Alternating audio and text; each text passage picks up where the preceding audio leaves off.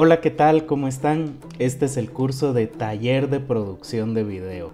En este curso vamos a estar trabajando muchas de las áreas que ya pudimos identificar y trabajar en cursos anteriores de producción de video. ¿Te recuerdas de discurso audiovisual, discurso visual, redacción de guiones también para audiovisuales? Televisión y televisión alternativa, pues este curso es el quinto curso que llevas de producción audiovisual y es donde de cierta forma trabajamos todos esos saberes de los cursos anteriores y los aplicamos en esta modalidad. En este curso vamos a estar viendo dentro de lo teórico cosas muy interesantes, por ejemplo las vanguardias de la producción audiovisual a lo largo de la historia. Eso es muy interesante porque puedes identificar a través de la historia y sus principales exponentes cómo esto de la producción audiovisual para televisión, para cine y todo esto pudo haber sido usado de una forma estratégica, sistemática, planificada en esa transmisión de conocimientos a grandes masas. Eso es fundamental, ¿verdad? Para nosotros los comunicadores, entender de que la producción tiene esos alcances. Después de hablar de vanguardias, vamos a estar trabajando proyectos relacionados con esas producciones de televisión y cine que nos encantan.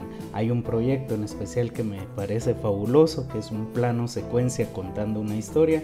Lo veremos más adelante dentro de este curso. Y vamos a trabajar también algo que también considero que es muy importante y es esta parte del desarrollo del proyecto. ¿Cuál es el desarrollo del proyecto? Has escuchado de la preproducción, de la producción y de la postproducción, pues resulta que el desarrollo sucede justo antes de la preproducción. Ahí es donde, donde sucede la planificación, donde sucede la estrategia y la investigación para esas piezas audiovisuales. En la parte del desarrollo también está algo muy importante que es la carpeta del proyecto o también llamada la Biblia del proyecto. ¿Por qué la Biblia? Porque resulta que ahí están todas las respuestas de lo que se quisiera saber de ese proyecto como tal.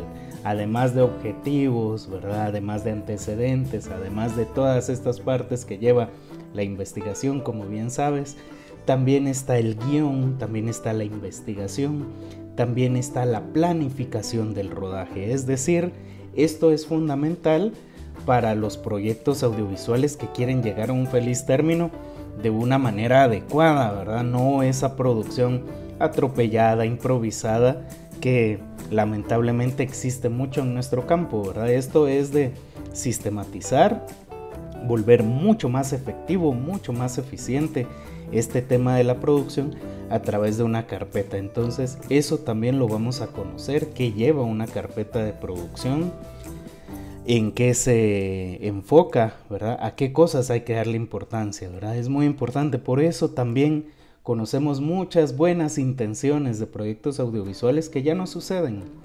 ¿Por qué? Porque la planificación no fue completa. Entonces vamos a trabajar eso. Por supuesto también vamos a tener proyectos de producción audiovisual.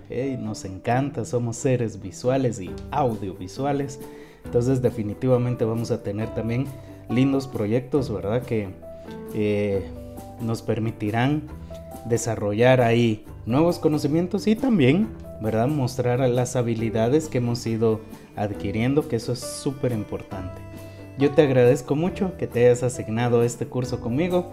Mi nombre es Eric Galvez y yo Gracias a Dios he tenido varias oportunidades de trabajar proyectos interesantes tanto en el campo de la televisión, la producción de video en general y también producción de cine. Muchas gracias por tu atención y dale un vistazo a las cosas que ya están subidas aquí en el portal para el curso de taller de producción de video.